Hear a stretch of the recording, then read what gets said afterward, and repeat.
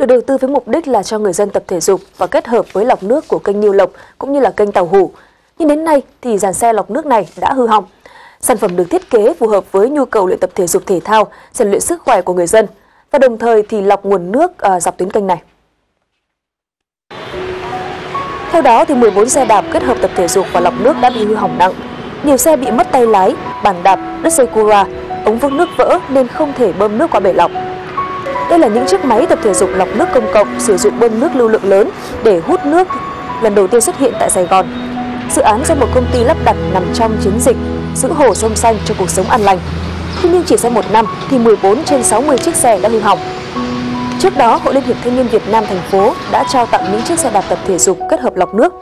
Máy được lắp đặt tại khu công viên dọc tuyến kênh Nhiêu Lộc, Thị Nghè. Sản phẩm được thiết kế phù hợp với nhu cầu luyện tập thể dục thể thao, rèn luyện sức khỏe của người dân và đồng thời lọc nguồn nước dọc tuyến kênh này.